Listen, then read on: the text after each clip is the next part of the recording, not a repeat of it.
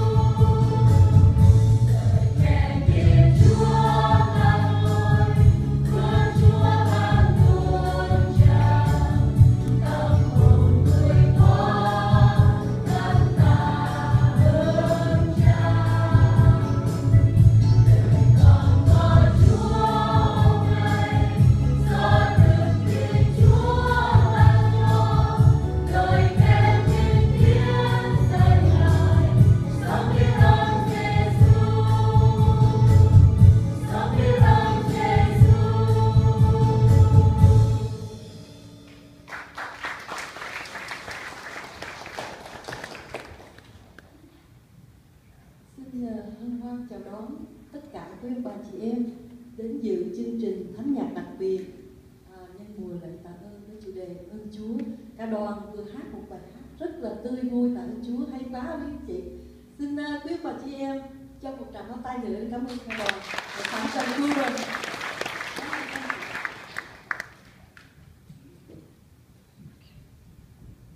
Thưa quý vị, à, người Việt Nam chúng ta hình như là rất là khó nói cảm ơn à, tôi có nghe mấy người ở Việt Nam nói là sao cái chữ thank you tố chè nó dễ quá, mà nói cảm ơn khó có những người sau này họ nói là thank you má.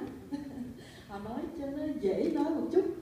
Ờ, khi tôi nhớ một vài tuần đầu tiên tôi đến Canada thì ờ, cũng trong một cái nhà thờ Tây, chúng tôi ra gặp một cô bé người Canada 11 12 tuổi, rất là xinh. Thì ờ, tôi khen cô bé dễ thương quá thì cô nói thank you. Lúc đó tôi rất là ngạc nhiên tại sao lại thank you? Nhưng mà bây giờ mình sống mình phải biết cái văn hóa cảm ơn của người Tây phương rất đẹp. Và bây giờ Việt kiều về Việt Nam là rất là dễ được nhận diện. Họ nói là các bạn dù ăn mặc lè lè cách mấy nhưng mà các bạn à, hay nói cảm ơn. Chúng tôi biết đây là Việt kiều. Bây giờ thì sống chúng ta nhập ảnh quá cảm ơn rất là đẹp của người Tây phương. À, nhưng mà đôi khi thì chúng ta cũng lịch sự trong nhà hàng cảm ơn ở trên đường phố cảm ơn trong bưu điện ở những nơi người ta tiếp đãi mình. Nhưng mà đôi khi chúng ta quên. Cảm ơn Chúa tạ ơn trời. À, cách đây vài tuần khi đậu xe tôi ờ, sáng rất là sớm chở mẹ đi bác sĩ đi bệnh viện. Thì khi bắt đầu đầu xe vào phải mua cái ticket á thì tự nhiên có một người đàn bà đến đưa cho tôi cái ticket nói là cô lấy đi. Cái này chúng tôi đã trả tới 7 giờ đêm à, lúc đó mới có 8 giờ buổi sáng thôi. Thì chúng tôi xong rồi cô lấy đi. Tôi nói ô ô tôi cảm ơn quá tôi có cần trả tiền cho bà không? Bà nói không không cứ lấy. Thì à, chúng tôi cũng vui dùng cái chiếc ticket đậu xe đó và sau khi uh, một tiếng đồng hồ trở ra tôi nói với mẹ là bây giờ mình cũng phải tặng cái chiếc ticket này lại cho người khác chứ đi về thì uổng quá 7 giờ tối là thì trời đang mưa mà tôi cũng phải đậu xe ra chờ coi có cái xe nào vô không mình cũng đi tới tặng cái chiếc ticket cho người ta.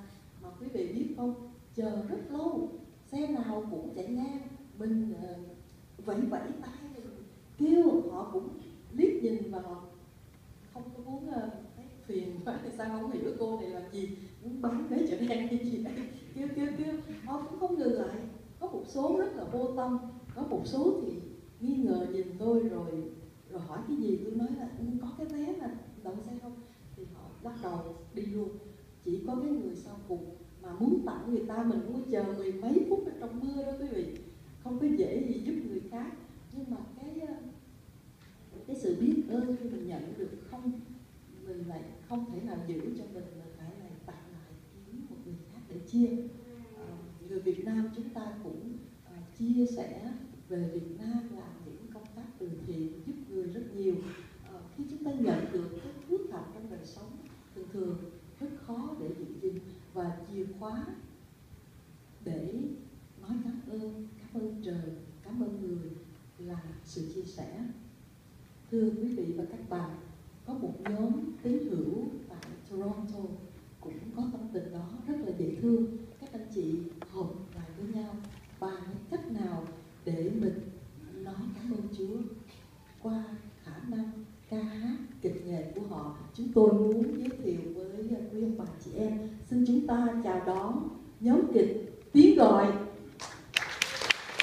Xin giới thiệu chị Mai Giang chị Mỹ Hạnh xin mời chị Bích Thủy chị Bích Phương và một người chó anh Hữu Nhẫn. Wow. Từ phương xa đến chào biết các chị vị khán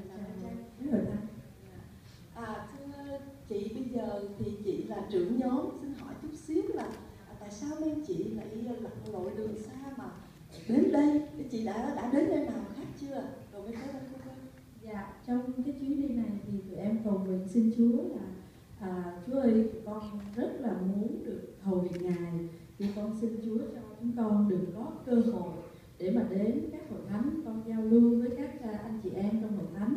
Thì à, Chúa cũng cho là tụi em à, đến được à, Calgary rồi à, đi qua Edmonton. Rồi bây giờ thì đến đây. Dạ, chứ chót chứ chị. Dạ, dạ cho Bây giờ chị trở về dạ chủ nhật ngày, mai là tụi em muốn em bay dạ. Cảm ơn chị chị Mỹ Hạnh ơi chị à, đi chuyến đi xa có thấy mệt không ạ? Dạ cũng hơi mệt chị nhưng mà cảm ơn Chúa là Chúa ban phước từ à, à, đầu tới à, hôm nay chúng em tới à, à, hội thánh Vancouver là hai hai nơi rồi có có bị kịch có bể không chị? Thành công không? Xin Dạ. giới thiệu quý vị đây là nữ vai chính trong cái vở kịch chúng ta sắp xem chị Mỹ Hạnh đó bây giờ chị nói cho là cái có cái, cái khó khăn gì khi mà chị tập kịch thì chị vô cái cái ngành kịch vậy không? Dạ, thật sự là em không phải là kịch sĩ nhưng mà lúc đầu à, Mai Trang có gọi nhờ em đóng cái vở kịch đầu tiên là cái vở kịch hôm nay. Em nói em từ chối em nói em đâu phải là à, kịch sĩ đâu mà Trang mời. Trang nói không sao đâu Hạnh cứ tới thử. Thì thật ra cái vở kịch đó là ừ, như là tới thử một là một ngày rồi xong rồi quay cái clip rồi là tập vở có một lần là lên mà cảm ơn Chúa chắc em nghĩ là chắc Chúa cho. Chứ thật ra không có à, không có cái yếu gì về kịch chưa bao giờ đóng kịch chưa bao giờ hát. Có hồi hộp không quý vị? Dạ cảm ơn chị Mỹ Hạnh chị Bích Thủy. Chị Bích Thủy ơi thì được biết chị và anh Hữu Nhẫn là hai một đôi cặp đôi hoàn hảo. Em ạ dạ nhưng mà thường thường nghe đóng kịch lại là đổi vai. Chị không có đóng vợ ảnh mà chị để người khác đóng vợ ảnh chị có trouble trong chuyện hiểu thật ra thì em cũng có đóng được một vai là vợ của ảnh nhưng mà vai con cũng có vai chị cũng có. Ôi ba mẹ là sung sướng dạ cảm ơn chị. Con à, quý vị biết không chị kế chị Bích Thủy là chị à, Bích Phương không biết hai chị em có có cùng chị em ruột không mà Bích? Dạ hai chị em cùng một cha. Ôi dạ, dạ cảm ơn chị. Bích Phương là một ca sĩ rất là dễ thương đã hát chuyên nghiệp ngoài đời. Bây giờ chị đã à, biết Chúa và chị tình nguyện chị hát cho Chúa mà thôi. Điều đó rất là đẹp và xin hỏi chị Bích Phương là động cơ nào? Chị chị thay đổi ý kiến như vậy? Chị có nhớ sân khấu ngoài đời không? dạ cũng có nhớ nhưng mà lúc trước thôi. Còn bây giờ thì hầu như là muốn à, hát để hầu chúa Sân khấu trong đạo cũng mất bát hả? quá đẹp Dạ, luôn dạ, dạ, cảm ơn Chúa, cảm ơn chị Phương chúng ta sẽ thưởng thức tiếng hát Bích Phương à, sau đây à, và bây giờ anh Hữu Nhẫn có một mình anh là nam trong đoàn tại sao bị yếu quá? Đẹp lên bây giờ đẹp trai nhất trong xin hỏi anh anh là trong đoàn ai là người quậy nhất trong đoàn kịch này? Các uh, quậy thì các ai cũng quậy hết. Nhưng mà quậy nhất chắc có lẽ là chị uh, Mai Trang. Mấy trưởng có quậy nhất. Cái này là bị đì nhất chứ không phải là quậy nhất. Cũng nhất là cái chị nhỏ tuổi nhất mà giỏi nhất mà quậy nhất mà dạ ăn nhiều nhất luôn à, Chúa ban phước cho khỏe để có sức để tập kịch được đó mà dạ xin cảm ơn các chị nhiều lắm. Để nghe tiếng nói của chị trước khi chúng ta thưởng thức à, những cái phần trình diễn à, tôn Chúa của các chị. Cảm ơn chị nhiều xin chúng ta cho một tràng tay. Cảm ơn. Rồi. Ừ. và để liên tục chương trình chúng ta sẽ nghe một ca khúc Giêsu họa sĩ đời tôi của Nguyễn Trọng Dân qua tiếng hát Bích Phương và Bích Thủy. Xin chúng ta chào đón Bích Phương, Bích Thủy.